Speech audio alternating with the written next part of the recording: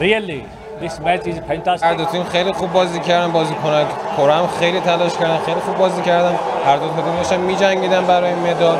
ولی خب ما هم و تمام تلاشمون رو کردیم و تونستیم در آخر مدال آن خودمون کنیم. سال 2003 من مربی همین تیم بودم و تونستیم مدال طلا رو کسب کنیم. سال 2007 من دوباره مربی بودم و تونستیم مدال نقره رو کسب کنیم. سال 2009 با یک مربی دیگه تونستم مدال برنز رو بگیرم و الان بعد 14 سال یا 13 سال تونستن که دوباره به مقام سومی برسن و مدال برنز کسب کنیم It was a very good match. خیلی بازی احساسی بود. ما بعد 14 سال تونستیم که مدال کسب کنیم. و این خیلی بر ما ارزشمند بود و در آخر هم از طرفداران ایران تشکر می‌کنه که تو آخر بازی حمایت کردن ازشون. توی رسم و رسوم ما این هستش که به مربیمون احترام بذاریم و برای همین این کار انجام دادیم. و میگه هیچ کسی به اندازه مربی بر ما سخت کار نکرد. هیچ کسی به ما باور نداشت که حتی بتونیم از مرحله گروهی بالا بیایم.